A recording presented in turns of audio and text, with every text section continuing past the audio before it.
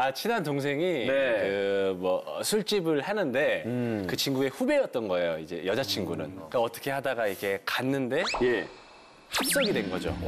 너무 이쁜 거예요. 근데 또 어떻게 옆자리였어요. 바로 이렇게 이렇게.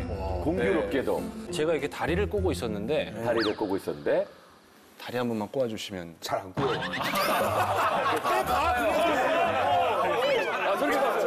아. 강기영 씨, 강기영 씨. 강기영이 저를 꼬고 있고. 되게 많았어요. 사람들이 되게 많았는데 네. 근데 이렇게 얘기하다가 네. 제가 허벅지에 손을 아내분이요? 네네.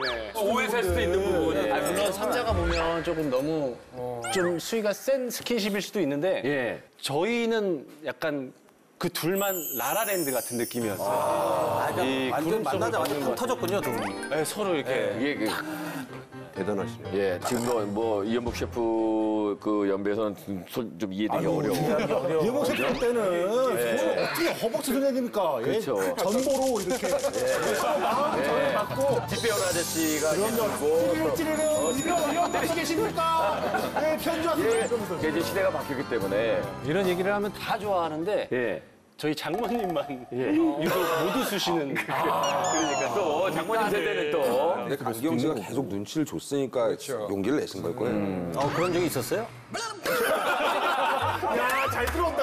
좋아 좋아 이런 분위기 너무 좋아. 눈치를 줘야지 저렇게 되는 거예요. 저, 저는 와이프가 먼저 좋다고 그랬어요. 그러니까 아, 강기영 씨 이 상황을 충분히 이해한다. 아, 예. 저 분명히 남자가 먼저 눈치 많이 줬을 거예요. 첫인상이 너무 좋았었어요. 서로가. 이게 저 어, 사랑과 기침은 숨길 수 없는 건데 이제 표정에서 직감을 하는 거죠. 그래서, 그래서 어떻게 아, 이렇게 손을 넣었을 때 네. 이 허벅지로 꾹 눌러주셨습니다. 근데 아좀 추웠나요?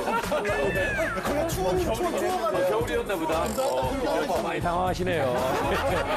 뭐 저런 얘기까지 하는 그래 다리 꼬가 돼서.